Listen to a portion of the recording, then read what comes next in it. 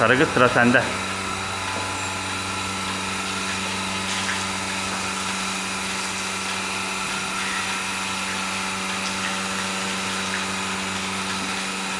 Normalde bu çılgınlık yapardı. Biraz daha uysallaşmış.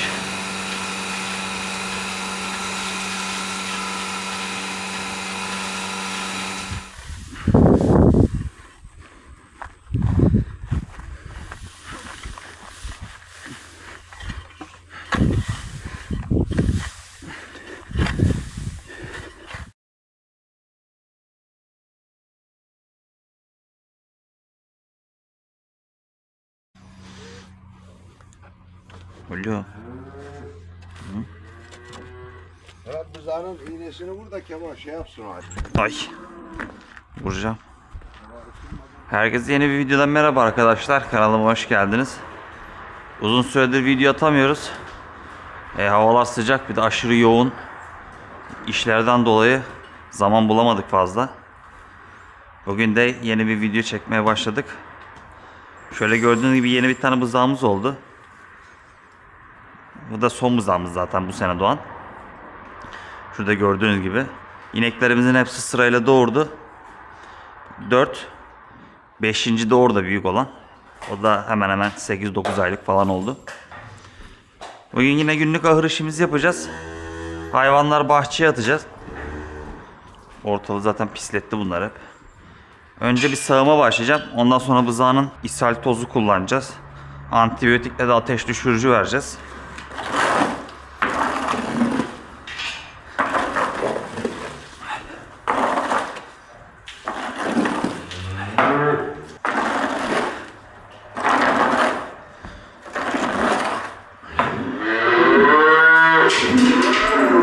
Su tutar, serinletiriz hayvanları.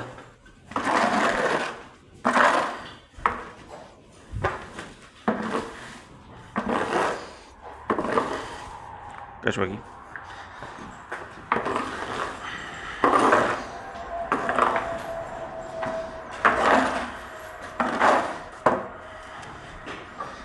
Direkt gübrenin üstüne yatınca kirletmiş kendini hemen.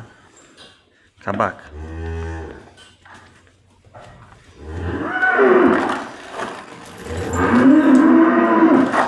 Yemlerini bahçede vereceğim arkadaşlar. Burada e, yine fabrika yemlerini vereceğim. Kalanlarını otları falan bahçede vereceğiz. Hatta size gitmişken bahçeyi de gösteririm. E, tefkra sekil olan bahçe. Oranın ilk biçimini bitirdik. Yani parsel parsel kesip bitirdik. Oranın da gübresini atıp sulamasını yapacağız. Havalar çok kötü gidiyor. Hava kötü gittiği için de yani inekleri de etkiliyor. Yani süt oranları falan bayağı bir düştü. O yüzden işte süt yemi almak zorunda kaldık. Normalde süt yemi vermiyorduk. Ama şimdi mecbur vermek zorundayız. Yani Raygrass'ta fazla bir sıkıntı olmuyor ama Tefgrass yani Raygrass gibi bir ot değil. Yani güzel süt yapamıyor.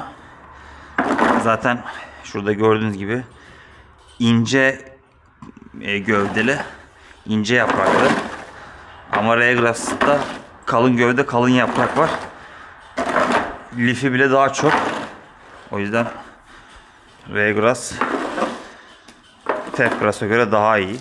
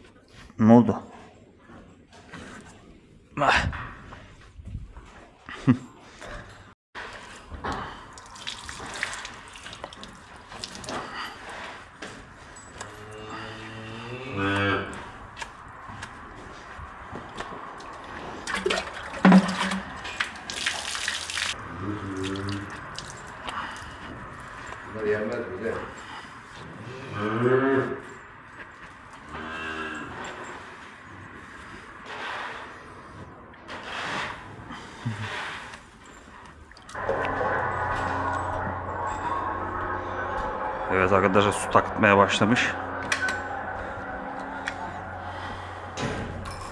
Bunu da takalım. Takıyoruz.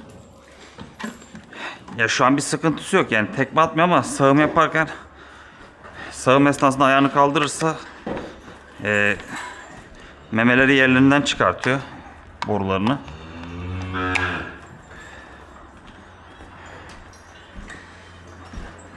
Dur bakalım.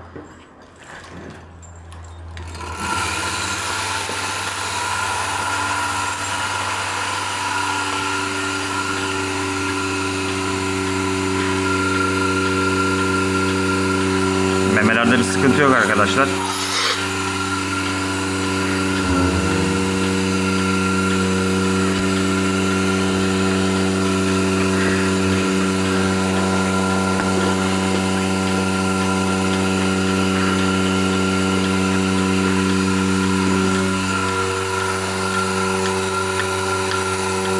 Tamam. Kediler buraya geldi arkadaşlar. Şurada gördüğünüz gibi kullandığımız ilaçlar kedilere, köpeklere.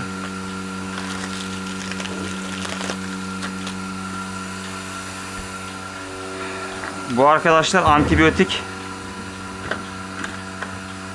Bakalım. Bu Basülfa diye yazan. Bundan 5 miligram vuracağız. Bu da arkadaşlar ateş düşürücü. Bunu zaten şişeden çekip aldık. Fazla şey yapmayacağız diye. Antibiyotik etki gösterir diye. Bu da ishal tozu. Toz olarak kullanacağız onu da. Bir buçuk kaşık koyacağız. Hemen hemen kendi küreği var zaten burada. Yine bayağı etkili. Eğer geçmezse falan onun da iğnesi var. İğnesini alacağız. Ateş düşürücü deri altı arkadaşlar. Bu ete vuracağız direkt. Yeni doğan bızaya aşısını yapmadık. Unuttuk onu. Elimizde yoktu. Tam hafta sonra denk gelince. Unuttuk. O şekilde kaldı. Şimdi de hastalığı kalktı. Bağışıklığı güçlendirsin diye aşı normalde yapıyorduk onlara. Bu sefer yapamadık.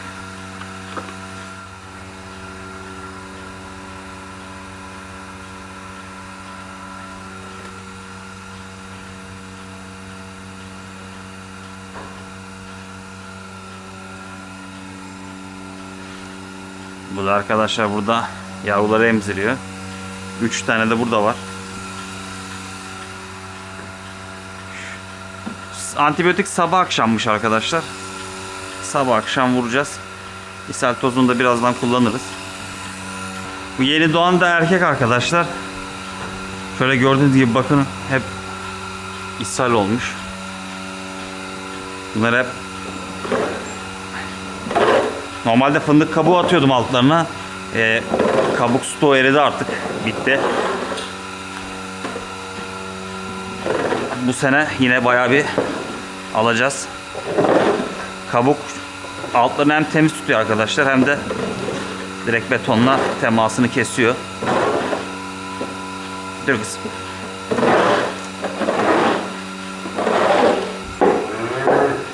Atmak da istemiyorum.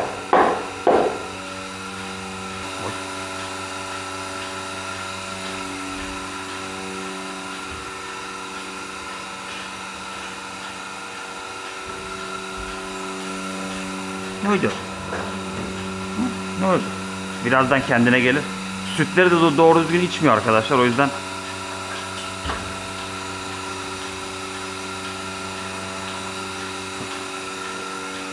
Ha benim emeceğim.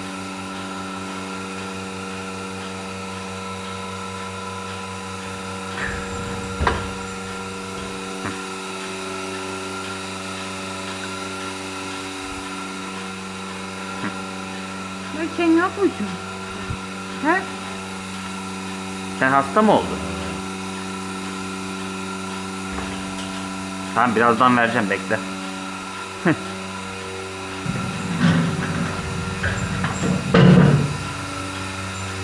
Bunların iğnelerini çıkartıyorum arkadaşlar. iğneleri, camları. Anca bu plastikleri çöpe atıyorum. Burada dursun, bu da çöp. Bu makinelerde sağım bittikten sonra arkadaşlar yine böyle birkaç saniye bastırıyor. Kanalları daha iyi açıyor. Kalan da oluyor. Bakın hatta gelmeye başlıyor. Genelde çoğu inekte son 20-30 saniyede yine bayağı bir süt alıyor.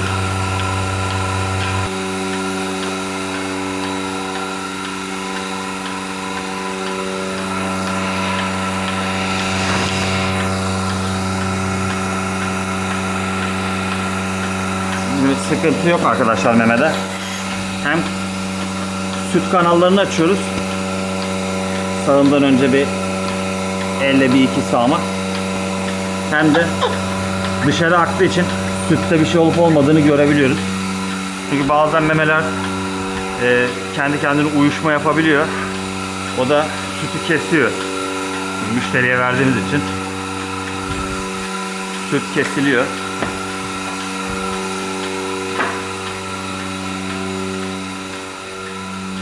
O zaman da sorun oluyor arkadaşlar. Geçen işte bu hayvanın memesi bir tanesi eee, uyuşmuş. Hep böyle pürtü pürtü atıyordu. Onu da işte sonradan fark ettik. Hemen tedavisini falan yaptık. Düzeldi. Onun için de arkadaşlar bir tane meme tüpü kullanıyoruz. Şuradaki siyah hayvanda diğer videolarda biliyorsunuzdur. Eee ileri seviye mahfisine yaklaşıyordu artık çok büyük iltihabı yaklaştı. O yüzden meme yapısı biraz değişti. Doğumda açıldı memeleri. Yani süt verimi açıldı. Ama yine mastisin olmasaydı yine daha fazla süt verimi olurdu. Memenin biraz eee, hasar almasına neden oldu. Çünkü çok fazla mastisinde kaldı. Yani memenin sağ tarafı yani sol tarafı biraz darbe aldığı için, hasar aldığı için mafisinde eee, biraz küçük duruyor. Ha, belki ikinci doğumu açılır. Çünkü ilk doğumundan iki ay sonra tedaviyi yapmıştık. Ondan sonra işte böyle açıldı. Yine süt veriminde sıkıntı yok ama meme yapısal olarak hasarlı gözüküyor arkadaşlar.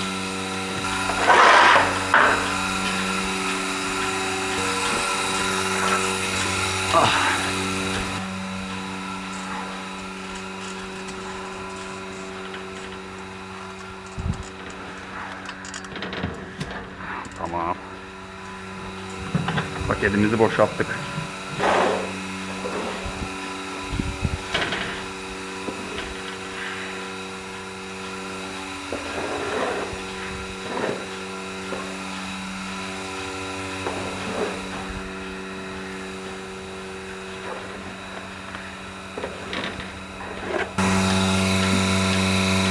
Ne görüyorsunuz bakın.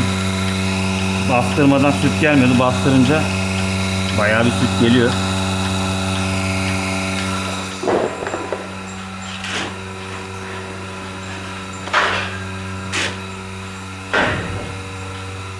Ve şeftali kabuğu atmışlar. Allah içeride kaldı.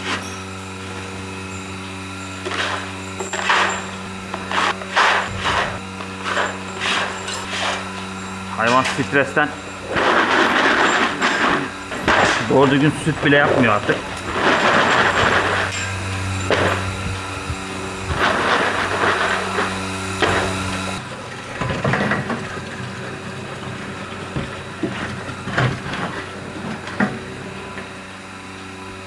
Normalde oraya yalak tarzı bir şey yapmayı planlıyorum ama şey bulamadım. Hani böyle küvet tarzı bir şey bulamadım. Hatta bir tane buldum. O da çok kırık, dökük. O yüzden bakın şurada onu tamir etmesi çok uzun sürer diye. Yani çok masraflı bir de düzgün verim vermez diye bıraktık öyle.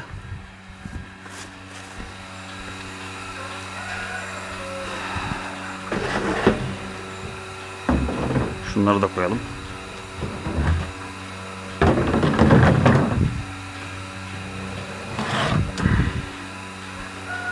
Hazırda bekliyorlar zaten. Sağım sesini duyunca hemen koşarak geliyorlar buraya.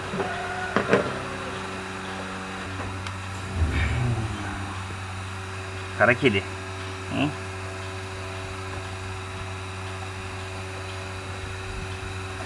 Bu yavruların hepsi oradaki annenin arkadaşlar.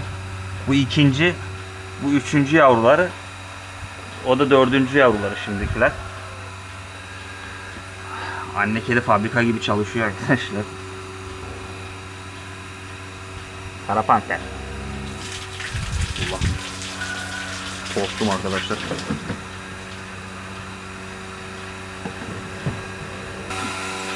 Kettle'la falan ısıtmamız lazım. Kışın sorun olmuyor. Kışın zaten e, soba yandığı için güğümleri koyuyoruz sobaya. Oradan sıcak su ihtiyacımızı alıyoruz.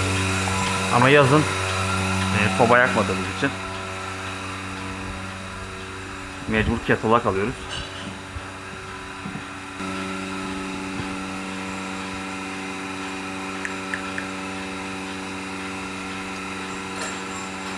Güzel.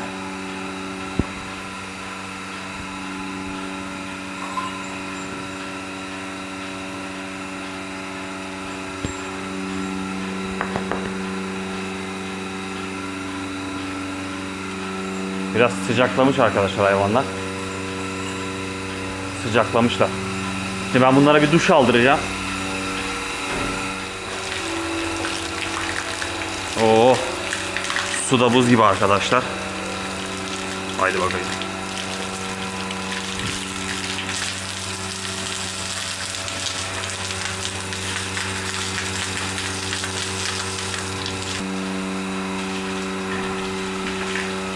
Bu tarafa geç kız. Kız bu tarafa geç.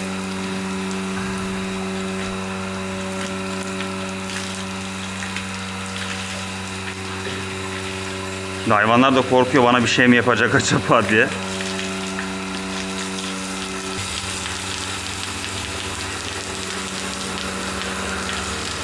Normalde hayvanlar yağmurda yıkanıyor arkadaşlar ama Şimdi zaten havalar kurak gittiği için yağmuru görmek biraz mucize gibi bir şey oldu.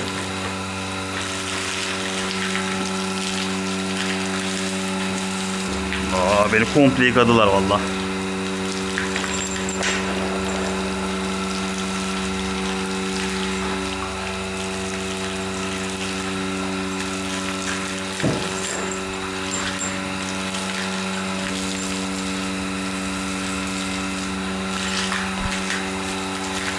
Yeri de yıkayalım.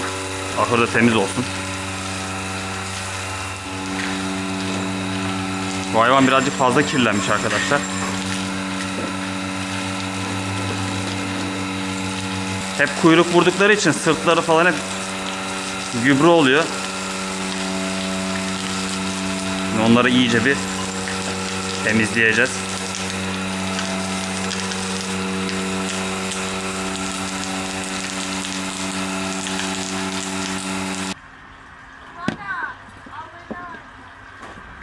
Allah.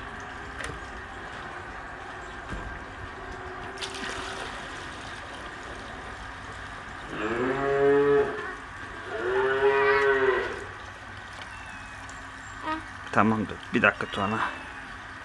Oraya koyma, oraya koyma. Ver. Ah.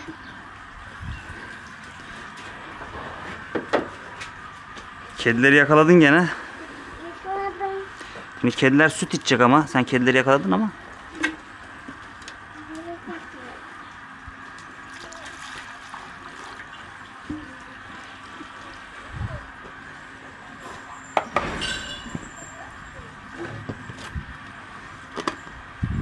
Şurada kalsın. Sütleri doldurduk arkadaşlar.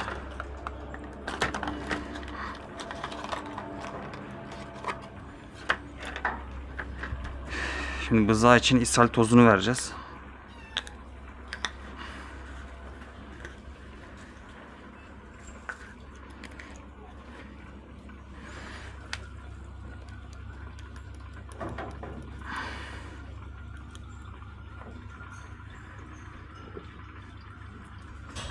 Yani bir buçuk kürek falan vermemiz lazım bundan. Hı. Tamam.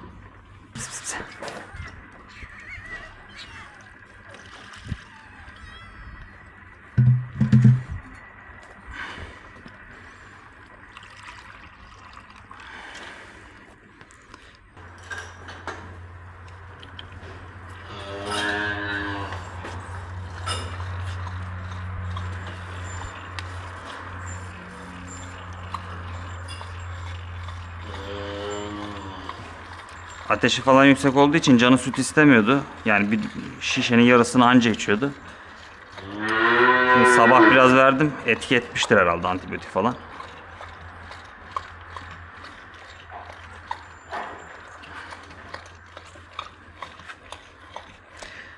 Sarı kız. Sen ne yapıyorsun? Şeftali.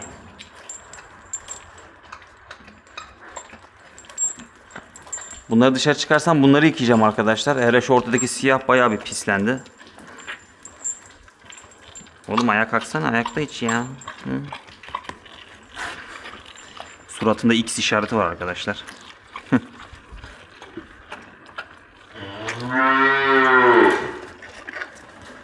Şimdi deterjanımızı koyalım arkadaşlar şöyle. Suyumuzu da koyalım.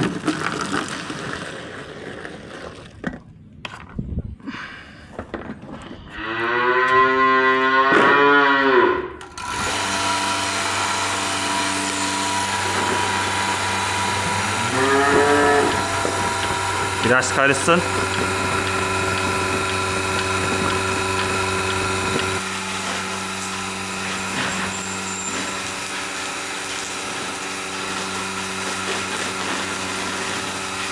Biraz serinlemen lazım kuzu. Böyle olmaz. Bahçede aslında su olsaydı arkadaşlar bahçede yıkardım direkt. Burada hamsa falan falan falan. Daha iyi olurdu. Ha, hoşuna gitti kuzunun da. Kuzu.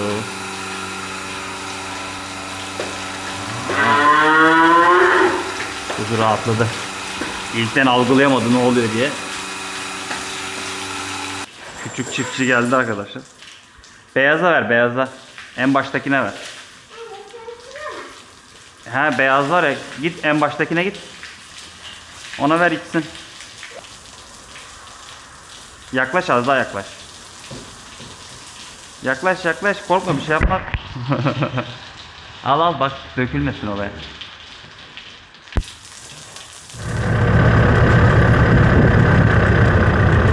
Hayvanlar oradayken su vermesi zor oluyor. Çünkü birbirlerine vuruyorlar hep. Su içerken. O yüzden onlar bahçede yokken hemen hızlıca yemlerini sularını verelim.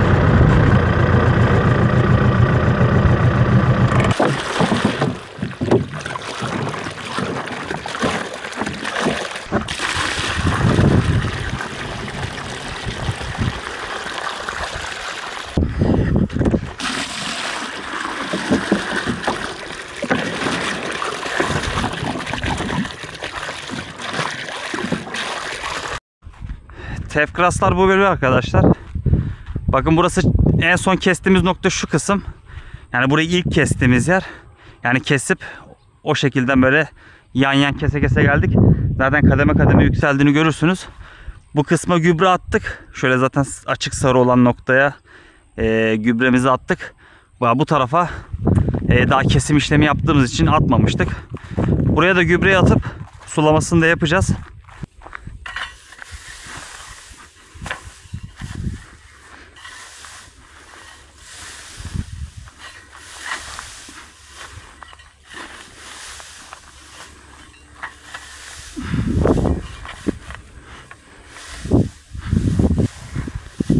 Şuraya bakın.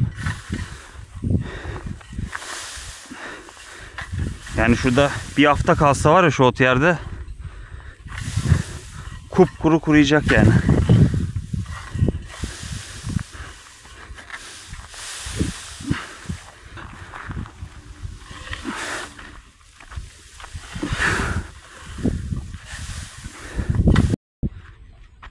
Evet arkadaşlar otumuzu aldık. Yani şöyle gördüğünüz gibi avla kenarına sıraladım. Bayağı bir koydum gene. Biraz da burada var. Suları da tamam. Yani hayvanların her şeyi tamam. Şimdi hayvanları atacağız bahçemize.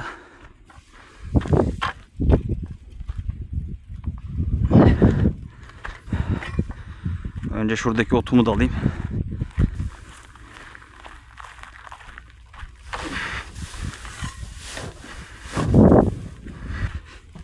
Şimdi gidelim hayvanları alalım arkadaşlar.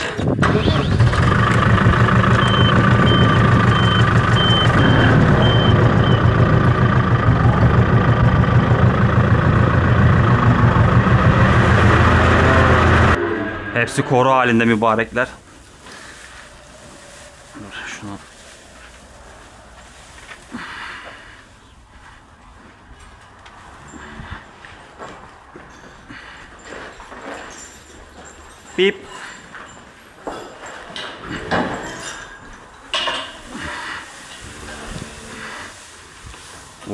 Da getirmişim ha bunlara.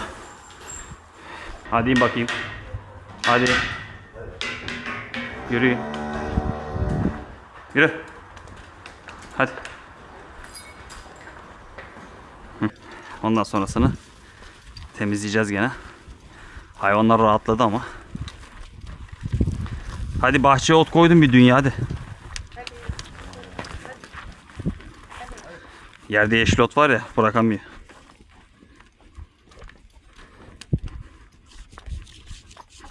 Hadi. Hadi kızım.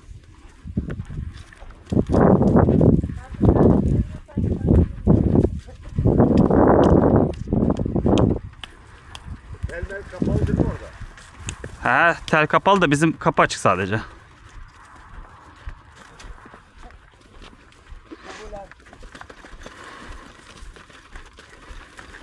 Güzel oluyor onlara. Dışarıda gezmeleri. En azından bağlı olmasın diye atıyorum bahçeye. Ha, bizim kapak buradaymış. Yoksa bahçede ot yok arkadaşlar. Zaten görüyorsunuz kupkuru. Sadece kum. Şurayaydı.